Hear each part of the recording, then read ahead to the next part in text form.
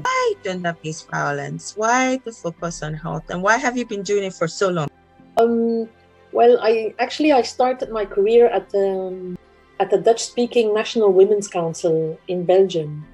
So women's rights were always at the very core of my of my interest and, and values that I carry personally. But especially when it comes to violence against women, I think